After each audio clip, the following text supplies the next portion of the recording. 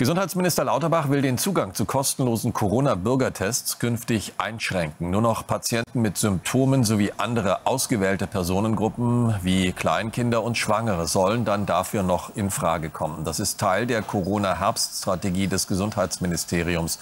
Kostenlose Tests soll es außerdem in Pflegeheimen geben und in Krankenhäusern vor Großveranstaltungen und für Flüchtlinge aus der Ukraine. Ab heute beraten die Gesundheitsminister der Länder in Magdeburg über gemeinsame Anti-Corona-Maßnahmen. Die Infektionszahlen übrigens, die steigen weiter.